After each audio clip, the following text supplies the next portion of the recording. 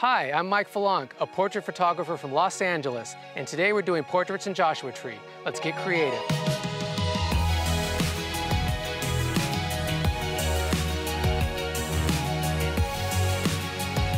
So for today's portrait shoot, I went with the Fujifilm X100V because of its film simulations.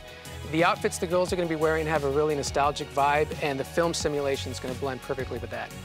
Today we're going to use a film recipe for Portra 400. To learn more about film recipes, head on over to FujiXWeekly.com, where you will find a detailed description of each recipe, as well as the custom settings you'll need to enter to use them. Later in the video, I'll walk you through how I edited the raw files to achieve the look for the shoot. So for today's portrait shoot, we're going to be working with two very talented models.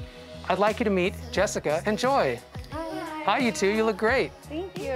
What can you tell me about these looks you put together? So we both entered a contest at New Chic and they selected the top 10. We both made it. So we were supposed to create an original design that walks the runway. For Mhm. spring For spring 2021 2021. after the whole Mhm. pandemic and stuff. Right. Yeah, it was supposed to be inspirational outfit for spring and summer 2020. 2021. You guys look amazing. Thank, Thank you. So um, for my look, I wanted something that you know women can wear at the beach and still um, like a two-piece, and they could put on this skirt and like maybe another top if they want to go to brunch afterwards or something, and this hat to go along with it. So since my outfit's supposed to be post-quarantine, I wanted to choose something that was a representation of the development and the growth that we've done during quarantine. So that's why I chose the butterfly. Butterfly goes through a beautiful transformation. And I wanted to create something that was new, was fresh, and a girl can wear if she's going out to a party. So it's very versatile, like I like to make my outfits. And this skirt kind of takes off, and then these buttons kind of strap themselves onto here so that you can have it on the shoulder, off the shoulder. Well, what do you say we take a look around this place and see what other spots we like? Do it. Yeah? Do it. That's it. That's working. I'm just to stop my aperture down a little bit more depth of field since there's two people now.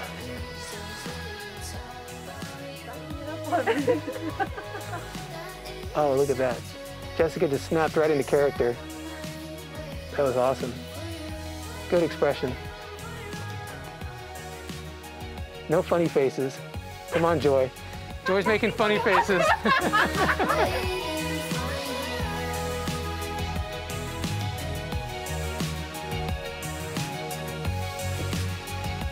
Good.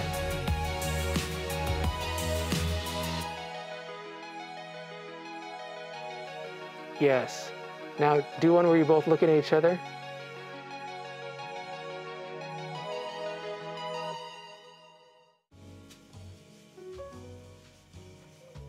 The challenge when you're shooting two subjects is you got to remember to focus on the person who's closest to camera. Otherwise, it can look weird.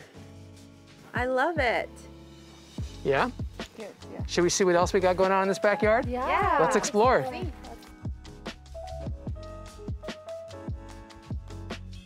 So we had this fun idea to have Joy sitting in the wheelbarrow and Jessica giving her a push.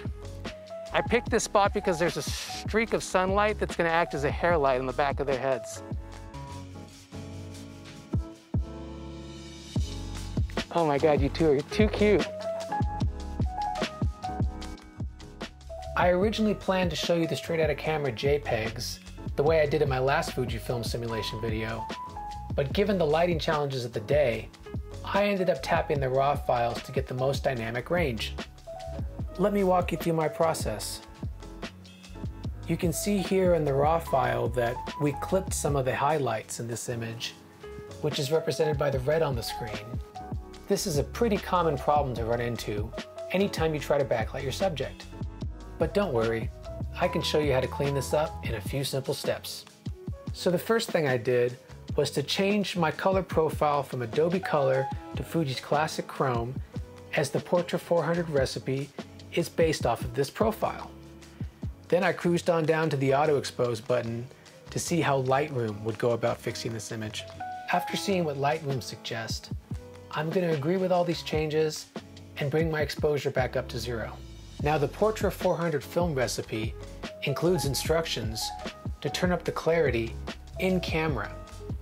I'm going to recommend, however, you skip this step in favor of adding clarity in post because enabling the in-camera clarity will noticeably slow your camera down. Next, I move on down to the tone curve where I add a medium contrast to help this image pop. Yeah, this is looking pretty good. Now all that's left to do is grab a brush, make sure I have white selected, and just paint over the spots and the highlights that are still clipping red. That's looking better. Let's pull up the before and after to compare. Okay, as you can see, the highlights in the sky are no longer clipping, while the girls look brighter and more vibrant. I really like the added clarity in the tone curve adjustments too.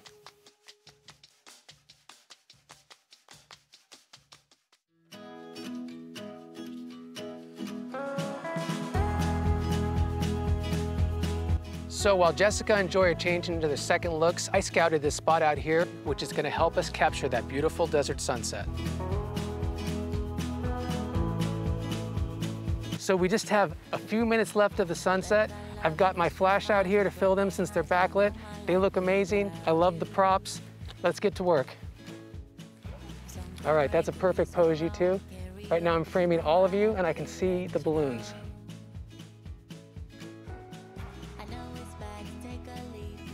Good thinking, back to back, yep. Perfect. Can you give me even more bend in your knee, Jessica? Yep, that's it. Yep, on your toe, that's perfect. Great.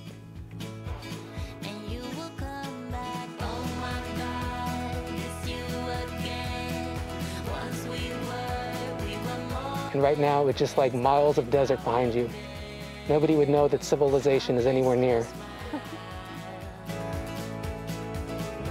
I started with my light and TTL mode, which for those who don't know, is like auto exposure for flashes. TTL stands for through the lens and it enables your flash to use the camera's built-in light meter. This is a good trick when you need a quick exposure. Usually I'll start in TTL, grab my exposure, then switch the flash back to manual to lock in that exposure. Because the sun was setting so fast and the light was changing so quickly, I ended up leaving my flash in TTL mode on this shoot.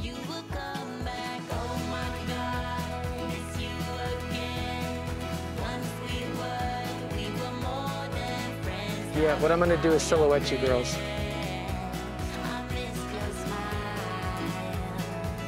So we're letting the sunlight Jessica now, but so that there's still a shining rim light on her hair, I just put the flash behind her.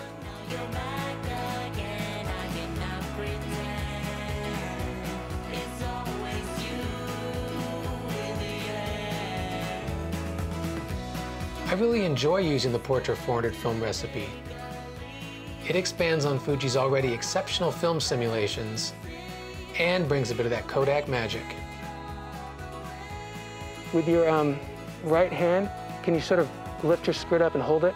Right hand with my Yeah, just sort of hold it out. There you go. I feel like this is one of your signature poses. It is. I was pleased to learn that the in-camera grain effect carried over to the RAW files. I prefer the random organic way that Fuji renders grain to the uniform patterns you get from simply turning up the grain slider in Lightroom. It's more filmic in my opinion. Drop a comment below if you'd be curious to see me compare this film recipe to 35mm Kodak film. We've worn her out. I think at least one of those is a keeper. So that concludes our desert portrait shoot. Thank you, Joy. Thank you. And thank you, Jessica. Thank you. I couldn't be more pleased with the shots we got. Like and subscribe for more portrait content. And head on over to their channels and give them a follow. You know you want to.